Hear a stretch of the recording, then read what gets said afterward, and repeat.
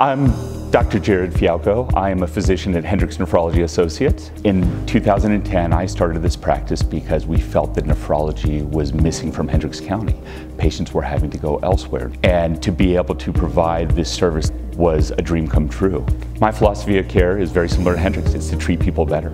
Kidney disease is very prevalent and it's scary. When you get told that you have chronic kidney disease, it causes a lot of fear and a lot of emotional distress. And we want to make sure that people understand what's going on and that they have support and that they have help. One of the things that I love about our practice is we're very personable, we're very approachable. When patients call, they talk to our office staff. You're not stuck listening to machines. They can reach myself or my partner any day. You know, we want to be hands-on, we want to be there for patients. We don't want you to have to sit there overnight wondering what's going on. I find the most rewarding thing is my interaction with patients. I love the relationship that I build up.